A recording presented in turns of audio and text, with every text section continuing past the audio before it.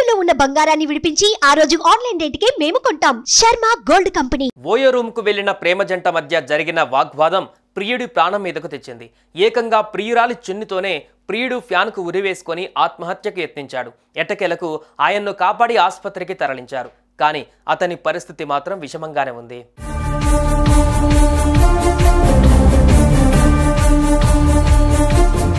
హైదరాబాద్ బోరబండకు చెందిన ఇరవై తొమ్మిదేళ్ళ ఓంకార్కు జనగామకు చెందిన ఓ యువతితో పరిచయం ఏర్పడింది. ఇద్దరు ఒకే బ్యాంకులో ఉద్యోగులుగా పనిచేస్తున్నారు. దీంతో వీరి స్నేహం కాస్త కొన్ని నెలలకే ప్రేమగా మారింది. ఇద్దరు కలిసి తిరిగేవాళ్ళు. ఈ క్రమంలో యువతి ఉప్పల్లోని ఓ ప్రైవేట్ హాస్టల్లో ఉంటుండగా ఓంకార్ ఆమెను పికప్ చేసుకుని రామాంతపూర్ ప్రగతి నగర్లోని ఓయో రూమ్కు వెళ్ళారు అక్కడ ఈ ప్రేమ జంట రూమ్ తీసుకున్నారు.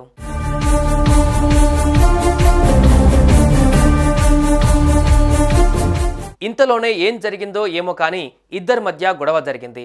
మాట మాట అనుకున్నారు. ఇంతలోనే ప్రియురాలు వాష్రూమ్కు వెళ్ళగానే ఆమె చున్ని తీసుకొని ఓంకార్ ఫ్యాన్కు ఉరివేసుకొని ఆత్మహత్య యత్నానికి ప్రయత్నించాడు. యువతి గమనించి పెద్దగా కేకలు వేయడంతో హోటల్ సిబ్బంది రూమ్లోకి వచ్చారు. వెంటనే ఓంకార్ను కిందకు దింపి పక్కనే ఉన్న ఒక ప్రైవేట్ హాస్పిటల్కు తరలించారు.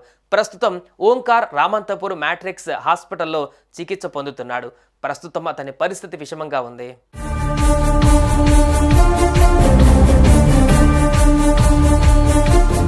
ఇక కేసు నమోదు చేసుకున్న పోలీసులు దర్యాప్తు చేపట్టారు. ఇద్దరు కలిసి మద్యం సేవించారని విచారణలో తేలింది. దీంతో యువతిని విచారిస్తున్నారు పోలీసులు. అసలు వీరి మధ్య ఘర్షణకు కారణమేంటి అనే దానిపైన ఎంక్వైరీ చేస్తున్నారు.